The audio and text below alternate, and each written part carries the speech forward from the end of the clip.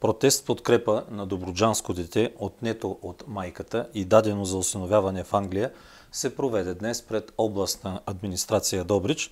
В него се включиха 30 на души. Сред тях беше и дядото на две годишната Мега. Ами, днеска е последния ден там. Сигурно ще вземат решение за осъдяване. Ние не знаем. Като свърши днеска, тогава ще знаем какво е станало. Да спасим Меган, Добрич, защита на децата на България. Утре може да е твоето дете. Меган е част от България. Бяха част от посланията на участниците в протеста днес. Несправедливо е, да, детето трябва да е при майка си. че може да се чуе гласа на България. Но сме много малко, както виждате. И явно много хора не ги интересува това, което се случва в България. И с българските граждани в чужбина.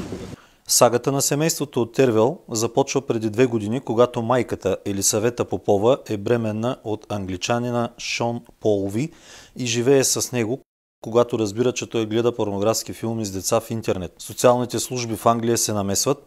Меган е оставена при майката при условие, че няма да се среща с бащата.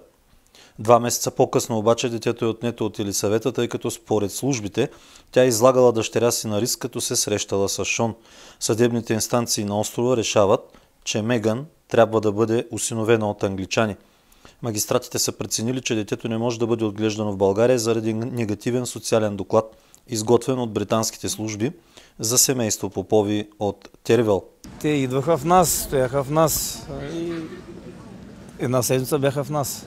Но са нямали никакво разрешение. Нито да се обаждат, че идват в държавата, да ходят нито на нашите социални служби, на никой. Просто си идват, си правят доклад и готово. Една многодетна майка няма право да гледа внучите си, защото имало опасност да бъдеш нараняване. Пет члена семейство, три деца имам и аз и съпругата ми. Правиме се до сега, гладни не сме си лягали. Аз съм много доволна от моите родители.